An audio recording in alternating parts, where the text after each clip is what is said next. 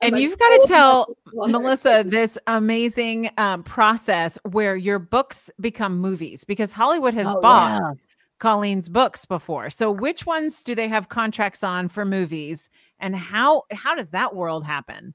Well, I'm still learning about that world. It's a whole different beast from the publishing industry and um, you were there too, which was my third book, was bought by Reese Witherspoon's company, Hello Sunshine um, and which was wildly exciting. But you know, what I've learned is that I think something like 90% of books that get bought to be turned into movies or TV shows don't actually get made.